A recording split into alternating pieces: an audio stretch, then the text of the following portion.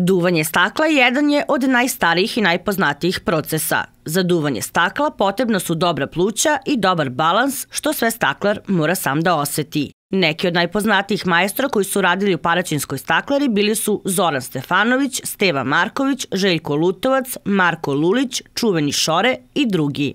Stari pogon su činile lončane peći, vane takozvane, i tu se ručno proizvodilo staklo. To ručno staklo je davalo mogućnosti, u jednom, jednom periodu sam je bio sekretar kulturno-prosvne zajednice, nećem se vremena, ali je tad pokrenut zahvaljujući Aci Portoju, keramičaru, dizajneru, velikom i značajnom staklarskom umetniku uopšte, pokrenut svetski simpozijum za umetničko oblikovanje stakla. Svi ozbiljni svetski majstori, od Marvina Lipkovskog iz Kalifornije do Tamara Aladin iz Švedske, su ovde, kako se to u tehničkom govoru zove, duvali svoje forme. To su slobodne forme iz alata, iz polualata, bukvalno unikatni, ne bukvalno, nego apsolutno unikatni komadi. To smo sve radili u staklari, radili silne probe sa fantastičnim majstorima.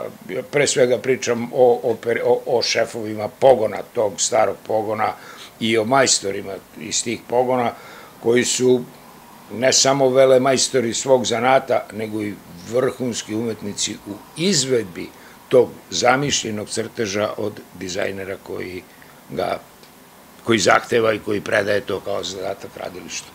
Kolekcija ovih radova nalazi se u Paraćinskom zavičajnom muzeju. Prema rečima Bradovića, na prostoru ondašnje Jugoslavije ne postoji takva zbirka unikatnih staklarskih predmeta.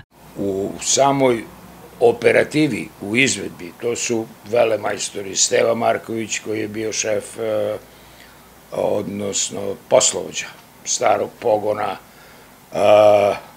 Mrkalj, Mija Balmazović, poslednji čovjek, poslednji čovjek u fabrici s kojim sam, smo mi direktno, najdirektnije sarađivali, a, majstori duvači, Šore iz Glavice, Rače, Lajoš, ja sad i ne znam njihova tačna imena i prezimena, nego samo te kratke nađe, To su ljudi koji su već bili penzioneri, jer staklari naravno imaju beneficijan radni staž i idu ranije u penziju, ali kao penzioneri su dolazili na radilište i za te takve zahvate su bili nužni baš takvi ljudi koje ja sad pominjam.